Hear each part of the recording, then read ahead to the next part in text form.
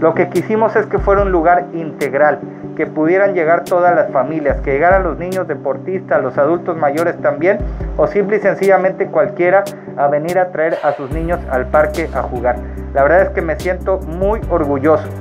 Es un cambio fundamental el que ha tenido y tendrá un cambio fundamental también en algo importante, en la seguridad de toda la gente de hortalizas y de los alrededores.